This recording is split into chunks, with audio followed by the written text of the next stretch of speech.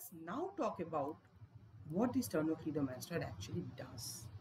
This is where it gets completely logical. You would have panicked if I said illogical, right? No, it gets very logical. And trust me, not all muscles can be explained logically, their actions rather. I have tried very much to, you know, logically correlate uh, actions with muscles and their origin insertion. But in many cases, I have seen that they do not work out that well because our anatomical knowledge is not that detailed to know about it. But thankfully, sternocleidomastoid is one such muscle where it's very obvious what it will do and how it does so. So bear with me when I talk about the actions of sternocleidomastoid. See, um, let me remove the platysma. Okay, so this is the platysma muscle, by the way, and I had removed the platysma muscle from here, from this side. So sternocleidomastoid is originally covered by the platysma muscle, and obviously by the skin and other subcutaneous tissue as well. So uh, let's hide that. Now we have a clear vision of both the sternocleidomastoids. Now, let's quickly look at what it does. See, very, very simple. Sternocleidomastoid, as I have said, has two heads, the sternal head and the clavicular head. Why I bring this up is because of the fact that these two heads, when act, they produce different actions. What do I mean by that? See, the sternal head, I said that it was lateral, a little oblique, and the clavicular head was a little more vertical, straight.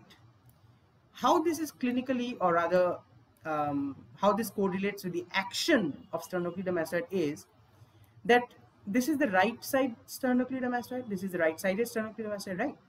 So the sternal head of this sternocleidomastoid, if this contracts, if this contracts, what it will do is the head will turn to the other side.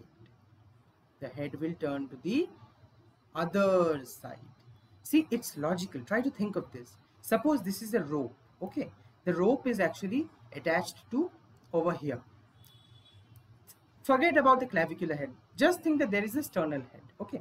The sternal head is this oblique, oblique, right? So if the sternal head acts, if the sternal head is pulling or rather if it's contracting, right? So this is the origin. Origin remains static. It is the insertion point which, you know, is contracted. That's the definition of origin and insertion, right? So if this is, you know, pulled, if this part is pulled, try and think about this, right? If this part is pulled this way, then the head will, what it will do? It will turn to that side. It will turn to that side try try doing this if you have a little longer hair you know you can what you can do is you can try pulling the hair which is uh, you know at the extreme lower end or you know dangling from your shoulders. Try pulling that from you know obliquely. And you will see that the head will turn to the other side. It will rotate to the other side. The head here will move to the other side. So this exactly uh, is what I meant when I said about the action of the sternal head. So um, this is that's why this it's a pretty good application here, 3D application. It even shows you the motion for a select few muscles. So I'm pretty glad that they had given the sternocleidomastoid action. But here there is a problem or anomaly given that um, they are showing that this is the clavicular head which is doing the motion.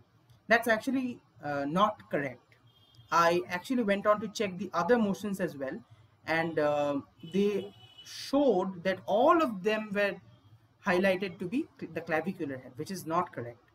So uh, kindly ignore this yellowing flashing uh, clavicular head ignore that. The real thing is uh, it's pretty logical.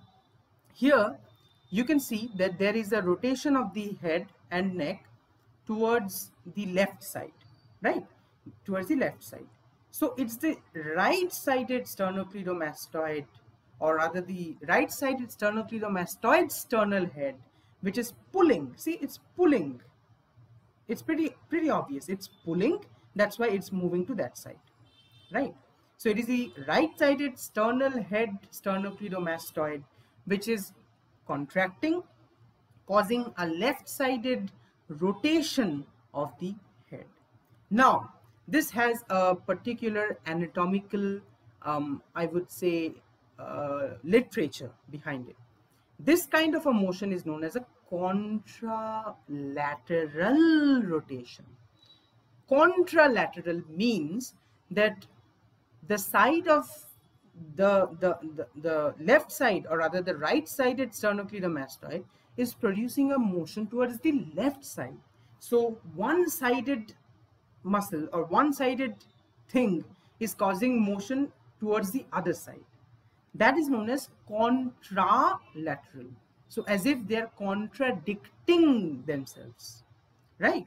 The right side is causing a motion towards the left side. The right sternocleidomastoid causes a motion towards the, or rather rotation towards the left side. So this is known as a contralateral rotation of the head. So this happens when the sternal head of sternocleidomastoid acts independently. Okay. Now, what happens when the clavicular head, which they have highlighted over here, when that acts um, independently, what happens then? See, it's pretty logical. If this clavicular head, which is this vertical uh, band, if this vertical band is to, you know, contract, it's very obvious that the head will not rotate, it will tilt to that side. There will be flexion of neck. So this is known as the yeah lateral flexion of the neck. So let me show you. Yes, see this. This is the action which is produced by the clavicular head of sternocleidomastoid provided it is working alone. Okay, it's working alone. So this is the left-sided flexion, left-sided lateral flexion is occurring. This is the left-sided sternocleidomastoid clavicular head working. So the left sternocleidomastoid's clavicular head causes the left um, lateral flexion of the neck. So this is not contralateral, this is same-sided. So this is known as ipsilateral. So there is ipsilateral flexion of neck when when the clavicular heads of sternocleidomastoid act alone we have talked only alone as of now. So when sternal head acts alone there is a contralateral rotation of the head. When um, clavicular head works alone there is an ipsilateral same sided ipsilateral flexion of the neck. Okay done. Now we will see what happens when both of them act together? When both of them act together, see they are anteriorly originating, posteriorly inserting. If there is a pull from both of them, from anterior, the posterior part is being pulled anteriorly. So what will happen?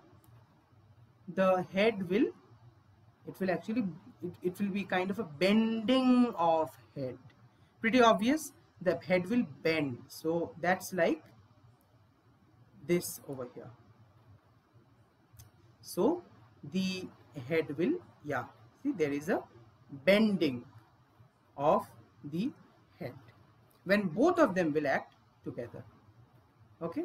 So this is also uh, you know when both of them are acting together they're pulling the neck forwards. They're pulling the posterior part forwards excuse me and hence there is a bending of the neck. So as if you when we are you know eating food we bend our head, uh, head forwards. Or when we get out of a pillow we bend our head forward so um, that's the combined action of both the sternal head and clavicular head. So the sternoclavicular or uh, sorry the sternocleidomastoid has two actions or rather three.